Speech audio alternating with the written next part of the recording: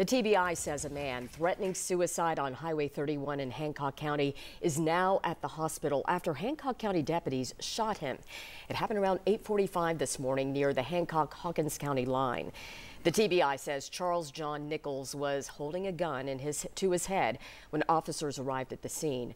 Deputies asked him to drop the weapon and he refused. The TBI says deputies negotiated for more than half an hour. Then the situation escalated in their words and two deputies fired shots. No officers were hurt.